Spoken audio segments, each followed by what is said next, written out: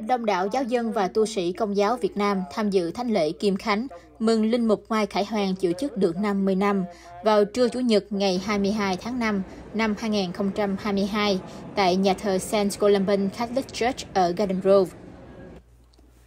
Đến tham dự thánh lễ còn có giám mục Kevin Van, giám mục giáo phận Orange và một số thành viên Hội đồng Liên tôn Việt Nam tại Hoa Kỳ.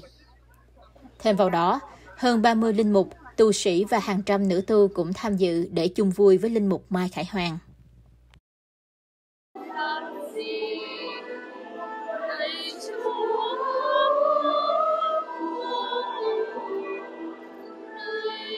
Ngày hôm nay tôi nhân dịp kỷ niệm 50 năm ngân ờ, nhân khánh linh mục của tôi được sự tham dự rất là đông đảo của tất cả những người thân yêu, thân bằng quyến thuộc cũng như tất cả bạn bè và nhân đó đến đây tôi, tôi cảm thấy rất là vô cùng và cảm cảm tạ Thiên Chúa.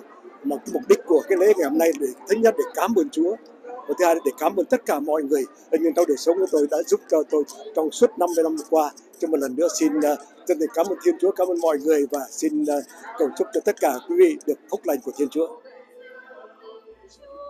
Linh mục Mai Khải Hoàng sinh ngày 19 tháng 2 năm 1943 tại làng Sa Châu, tỉnh Nam Định, Việt Nam. Năm 1954, ông theo gia đình di cư vào miền Nam Việt Nam và định cư tại giáo xứ Bùi Thái, Tam Hiệp, tỉnh Biên Hòa. Năm 1956, Linh mục Trần Quang Điềm, khi đó là tuyên úy quân đội, chánh xứ giáo xứ Bùi Thái, đỡ đầu cho ông đi tu tại tiểu chúng viện Bùi Chu di cư ở Sài Gòn.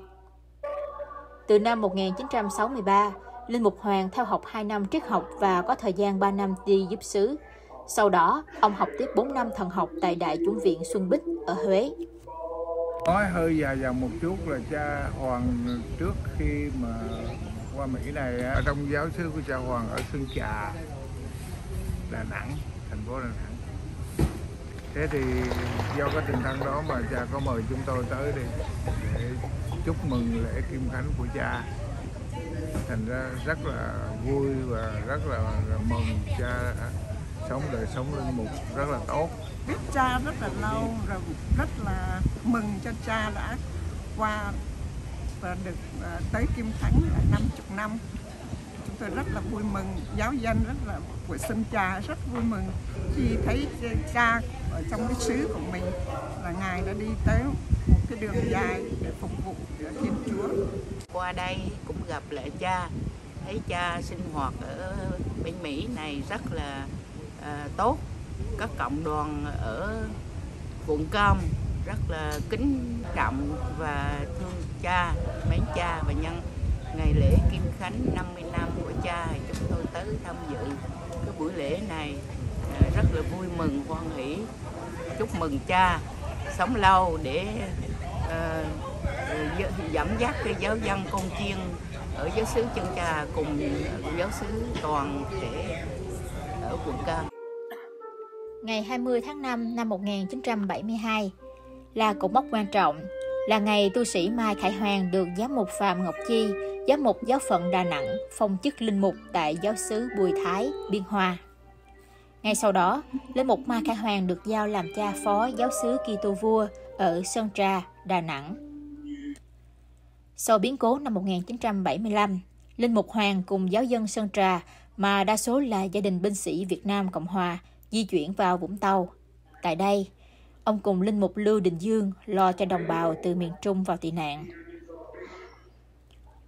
Từ năm 1975 cho đến khoảng năm 1981, ông di cư sang Mỹ, được địa phận Covington ở Kentucky bảo trợ và chỉ định làm linh mục tuyên úy cho người Việt Nam di cư trong địa phận. Đồng thời, ông cũng là linh mục phục vụ tại Newman Catholic Center thuộc Đại học Kentucky trong 3 năm và là cha phó tại giáo xứ St. Paul, Lexington ở Kentucky trong 4 năm. Từ năm 1981 đến năm 1988, đáp lời mời của Hội đồng Giám mục New Zealand, Linh mục Mai Khải Hoàng tình nguyện đi làm việc truyền giáo và giúp đồng bào Việt tị nạn tại quốc gia này. Sau 7 năm phục vụ, giúp đỡ người Việt để họ có được quốc tịch New Zealand. Ông trở về Mỹ, phục vụ tại giáo phận Orange ở California cho đến ngày nghỉ hưu. Linh mục Mai Khải Hoàng được xem là linh mục đầu tiên thành lập cộng đoàn Việt Nam tại giáo xứ San Columban ở Garden Grove, California. Sau 4 năm phục vụ tại giáo xứ San Columban, ông có 7 năm liền giúp tại giáo xứ Westminster với vai trò là quản nhiệm và phó xứ. Trong thời gian này, ông trải qua một cột mốc quan trọng của cuộc đời linh mục. Đó là kỷ niệm ngân khánh 25 năm chịu chức linh mục. Mình rất là vinh dự, rất là vui à, được đến đây dự lễ của cha là một linh mục đã hiến dân cả đời mình để phục vụ cho công giáo Việt Nam. À, mình rất là ngưỡng mộ cha.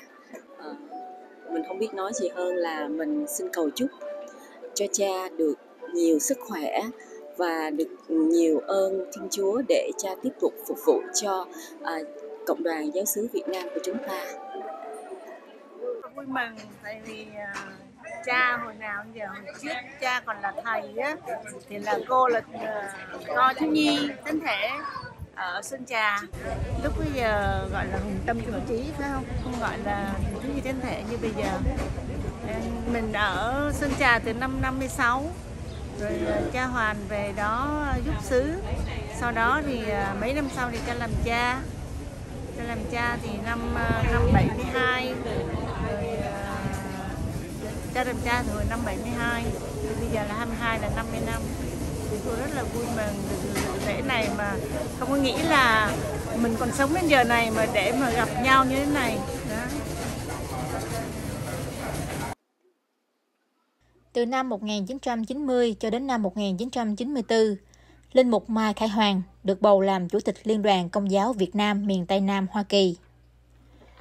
Khoảng năm 1999 cho đến năm 2001, Linh Mục Hoàng quay lại giáo xứ Anaheim làm phó sứ và linh mục quản nhiệm.